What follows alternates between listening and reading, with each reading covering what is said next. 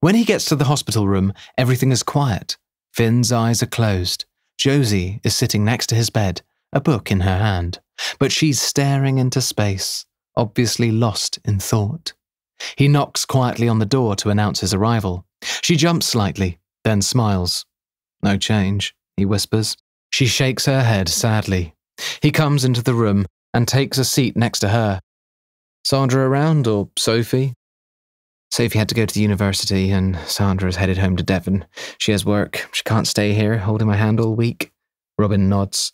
He knows the same situation applies to him. He needs to phone Baker, give a time frame for when he'll be back. But he has no idea. How long can this go on for, he thinks? How long? Should he keep searching? What do the doctors say?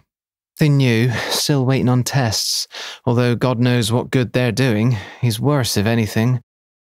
Anterograde amnesia, she says, checking the notepad next to her.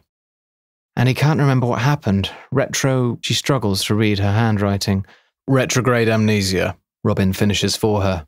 Yes, the doctor says he can remember how to do basic tasks like writing and tying his shoelaces, but he can't form new memories. And they don't know why? She shakes her head, tears obvious in her eyes. And the doctor says that with the alcohol withdrawal symptoms on top, it's hard to work out what's going on. Robin sits down next to her and takes her hand. Finn's alcoholism could be nothing to do with the situation they're in now. In the bed next to them, Finn is starting to stir, his eyes flickering open. He looks over to Robin and blinks myopically. Robin hands him his glasses and he puts them on. Rob. Mum? You're in the hospital, Finn. You've been in an accident. Everything's going to be okay, Josie says softly. She looks at Robin. Every time he wakes up, we're back to square one. He can't remember where he is or what happened. An accident? Finn asks.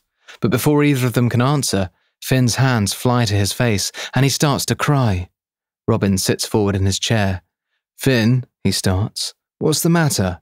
He continues to sob. Robin glances through the open door to the police officer standing guard. He quickly gets up and closes it, then sits close to Finn. Do you remember something? Robin asks, about what happened.